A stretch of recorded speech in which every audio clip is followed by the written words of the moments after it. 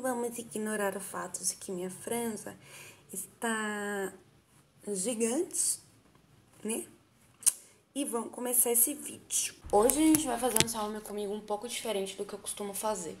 Hoje a gente vai usar menos produtos, coisas mais acessíveis. Tudo que eu tenho aqui tá disponível assim no mercado nacional. Eu quero mostrar para vocês que dá para manter a trevosidade sem precisar sofrer muito é, com o calor. Então dá pra continuar sendo trevosa sem sofrer muito com calor e eu vou mostrar hoje isso aqui pra vocês. A maquiagem de hoje é o seguinte, eu não vou usar tanta maquiagem, porque quando vocês me veem usando maquiagens, assim, né? Bem. Hum, eu tô. Normalmente tô com bastante maquiagem, eu tô com base pesada, com corretivo, com 50 quilos de maquiagem. Mas hoje a gente vai reduzir tudo isso pra uma coisa que seja um pouco mais usável no calor e tal. Vamos lá. Primeira coisa que você tem que fazer para garantir que essa maquiagem dure bastante é usar um primer legal. Eu uso esse bálsamo pós-barba aqui da Nivea, que ele é assim. Mas pelo fato dele ter a bendita glicerina na... Como ele tem a glicerina na formulação dele, significa que ele vai fazer a maquiagem durar mais, porque ele age como se fosse uma cola. Então, por exemplo, eu vou aplicar esse primer e aí, assim que ele estiver secando no meu rosto, ele vai ficar com uma consistência pegajosa, grudenta. E isso vai fazer com que toda qualquer maquiagem que vai em cima desse primer dure mais. E assim, eu vou aplicar ele no rosto todo, vou, mas isso não significa que eu vá aplicar maquiagem no rosto todo. Sempre aplico bem na sobrancelha, porque é, na sobrancelha ele faz a maquiagem da sobrancelha durar bastante, né? Então aplico bastante na sobrancelha. Hoje eu não raspei minha sobrancelha direito, eu tô com preguiça de levantar pra raspar. Mas a gente vai acabar cobrindo tudo isso mesmo quando a gente aplicar o resto da maquiagem. E agora eu vou passar pra sobrancelha. É, eu vou ensinar pra vocês uma, uns trucão para você conseguir manter sua maquiagem trevosa o dia inteiro, sem você precisar, tipo, é, sofrer muito com calor, essas coisas. Então, eu vou fazer a minha sobrancelha com batom líquido, certo? Vou usar o batom líquido mate da Bella Femme. Tá, eu vou fazer a minha sobrancelha. Eu gosto de usar o batom líquido porque ele faz... Porque ele é, é de longa duração. Mas assim, eu vou assentar com alguma coisa é, vermelha depois. Porque o batom líquido ele é bom, mas se você tem oleosidade na testa, ele não vai ajudar muito. Mas pouca coisa, tá, gente? Pouca coisa. Eu tô tentando fazer esse tutorial usando me, a menor quantidade de produtos possíveis. Meu Deus, que eu acabei de fazer aqui.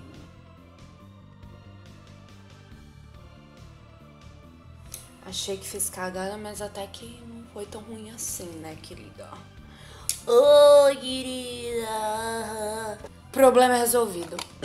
Agora eu vou pegar e eu vou usar esse corretivo aqui da MAC, que é o NC42. A cor é NC42, mas ele é Studio Finish. Eu uso ele pra minha sobrancelha porque eu preciso acabar com esse negócio. Tipo, eu tenho ele há anos, ele não acaba nunca. Então eu vou usar ele. E eu vou aplicar ele bem abaixo da sobrancelha.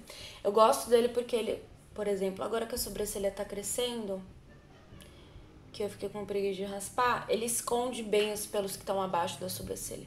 Então eu gosto dele por causa disso. Sempre assim.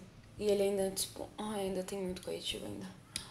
Uh, e eu gosto de aplicar ele aqui também, ó, no meu canto interno. Ele já cobre essa, esse começo de escuridão aqui que eu tenho de olheira, porque eu tenho muita olheira escura, então eu gosto de aplicar ele bem assim mesmo, sabe? Se você quiser, você pode arrastar um pouco do corretivo que você tá usando ou da base que você está usando, se você for usar base, você pode é, arrastar um pouco do corretivo para a pálpebra para ajudar na duração da make dos olhos, para ajudar na pigmentação também. É uma ideia que você pode fazer aí em casa. Maquiagem é assim mesmo, gente. Vocês vão testando até vocês acharem que tá bom. Como vocês podem ver, eu não estou mais usando piercing. Porque eu enjoei dele, ele tava feio, tava torto, eu não tava mais gostando dele. Então, eu me livrei do piercing. E aí a gente vai espalhar todo esse corretivo. Vai esfumar ele no, na pele para ficar um acabamento um pouco mais... É. A gente tira o excesso de produto também, né? Porque é muito... Muito produto faz a maquiagem derreter em dois palitos, né? A gente não quer isso. Para isso você pode usar o mesmo corretivo, mas eu vou usar outro corretivo. Eu vou fazer... Porque assim, para mim o mais importante na maquiagem é...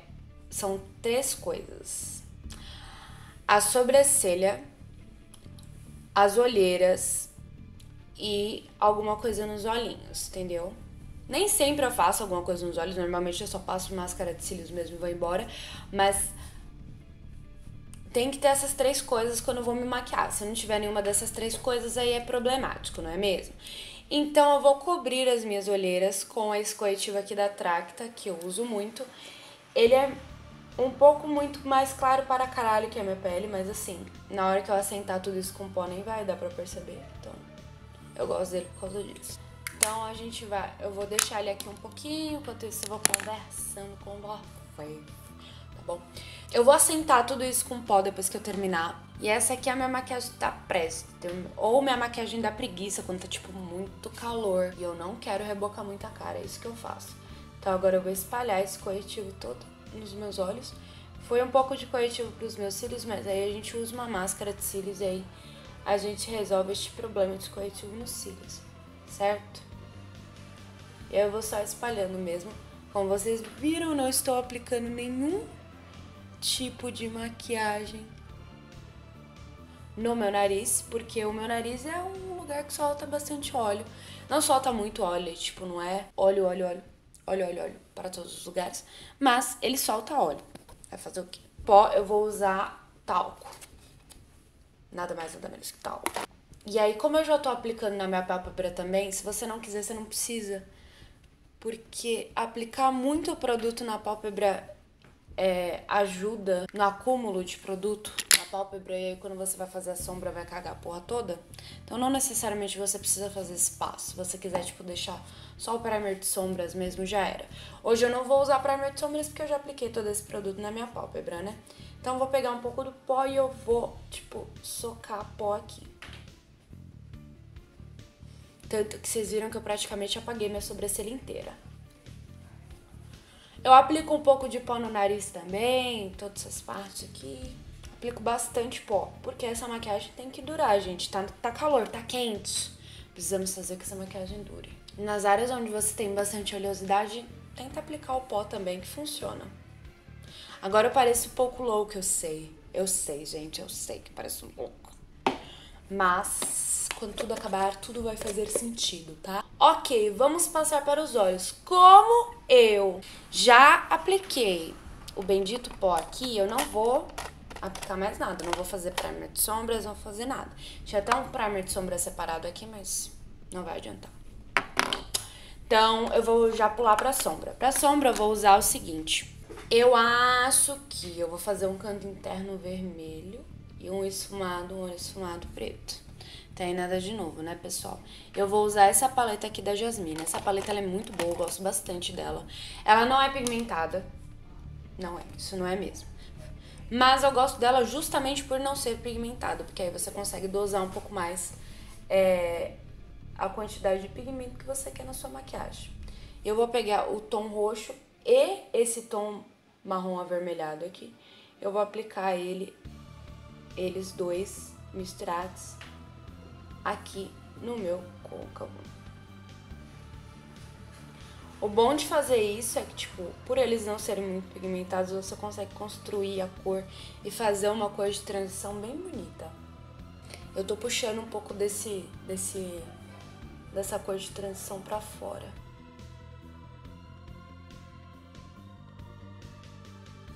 Na realidade, isso que eu tô fazendo ele só vai me ajudar a esfumar mais é, o preto que eu vou acabar aplicando aqui. Tá bom? Então tá bom. E aí eu já vou vir no preto, que é esse pretinho aqui, que ele não é muito pigmentado, mas a gente vai fazer ele funcionar. Eu vou aplicar ele no côncavo pra esfumar com as duas outras cores. E aí o que, que eu vou fazer? Depois que eu acabar isso, tá vendo? A maquiagem, gente, vocês têm que entender que antes dela ficar bonita, ela vai ficar bem feia.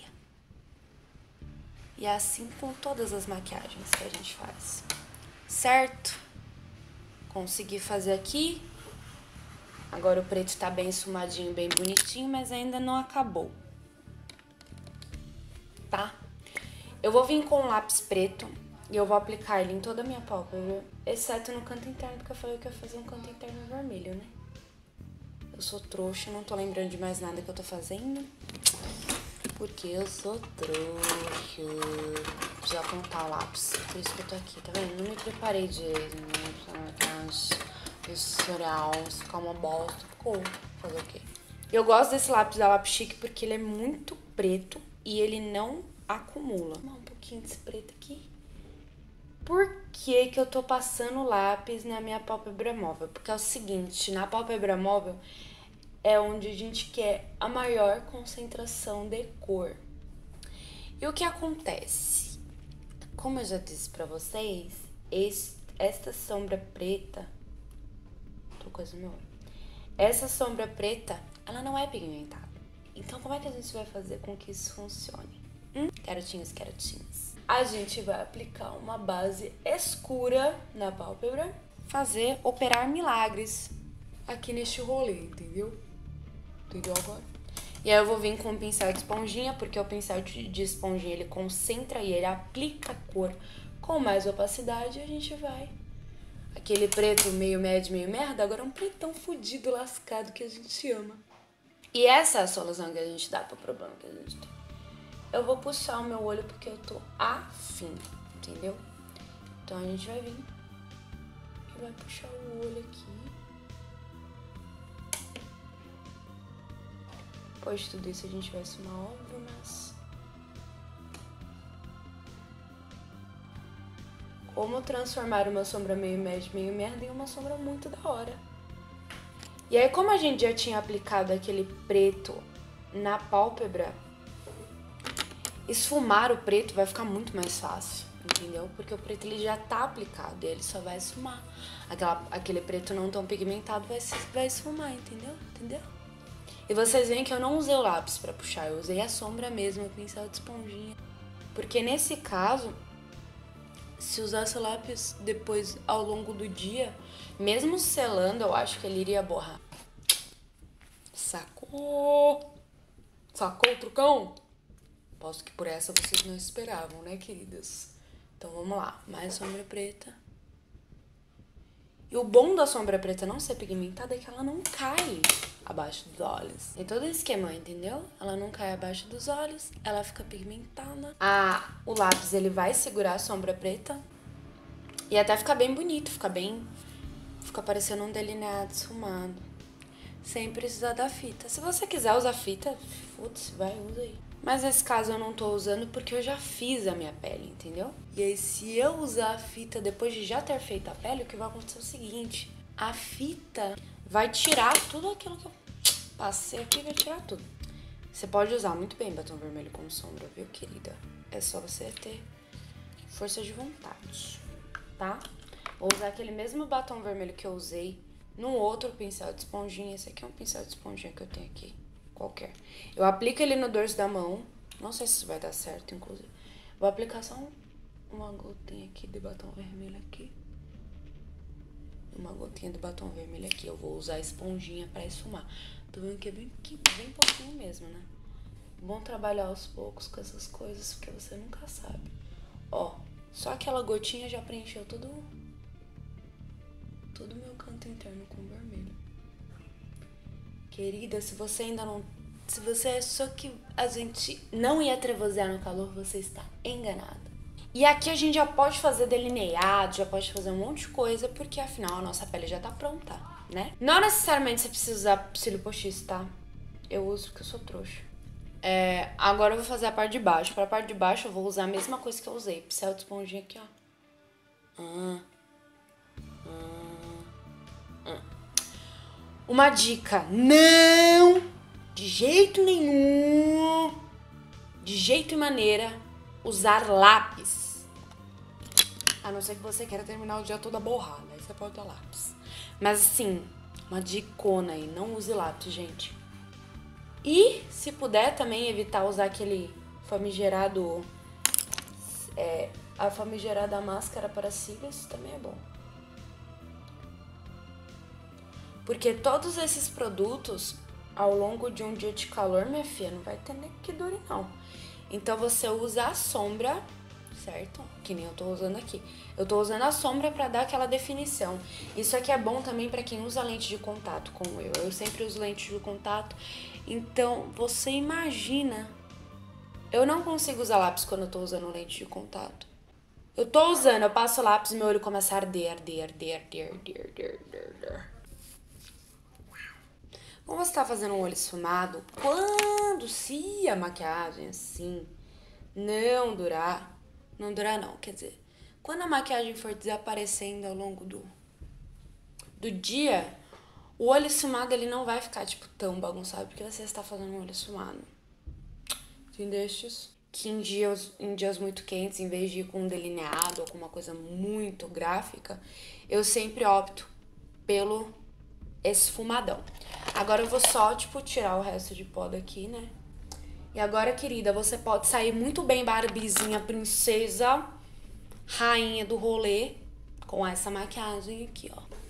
Eu posso tocar no meu rosto à vontade, só não posso esfregar os olhos, essas coisas, né? Porque isso aí, né, não rola. Mas eu posso tocar o meu rosto à vontade, que, tipo, eu não preciso ficar me preocupando com maquiagem saindo, sabe? Porque eu tô com ela só na área dos olhos. Então isso me facilita muito e assim, eu não preciso ficar me preocupando com maquiagem saindo, com coisas derretendo, porque eu apliquei o corretivo e eu assentei ele com bastante pó, então isso vai garantir que o corretivo dure bastante. Se você quiser pagar de lindinha, querida, e passar um batomzinho líquido, não com essa boca de cu, pode também. Eu vou usar o mesmo batom que eu usei nas sobrancelhas então, gente, ser gótico no verão é muito mais fácil do que a gente imagina e vocês sofrendo, né, querida? Você aí sofrendo à toa, né? Agora eu vou terminar de me arrumar e aí eu já mostro pra vocês até o final, tá bom? Pra gente conversar um pouquinho. Então, gente, essa é a maquiagem finalizada, tá certo? Então dá pra você sair assim, ó, bem linda, arrasando no rolê, sem passar calor. E quando você suar, você pode passar a mão na cara à vontade, pode coçar o nariz, pode passar a mão na bochecha, comer bem linda, sem se preocupar com a maquiagem, sem se preocupar com aquela camada de reboco na sua cara, entendeu? Então é maravilhoso, assim. Recomendo muito. Eu faço isso direto quando eu tô com preguiça. É, mas quando eu tô com preguiça, preguiça mesmo, eu nem peço tanto na maquiagem, mas ouse. Eu falei, eu vou pesar na make para eles verem que dá para ser sim perigótica, que dá para gotiscar com facilidade, tá bom? Então, basicamente é isso. Eu espero muito que vocês tenham gostado desse vídeo. Eu espero que esse vídeo de alguma forma tenha sido útil pra vocês. Agora eu não quero ver ninguém falando que não dá pra ser gótico no calor, porque se falar eu vou mandar tomar no cu. Até a próxima aí. Tchau! Se isso não é sofrimento, meu bem, eu não sei mais o que é. Sofrer. Puta merda, a ponta ficou aqui, irmão. Vai embora! Filha da puta. Ok, de novo. Tenta não quebrar dessa vez, tá, querido? Obrigada, querido.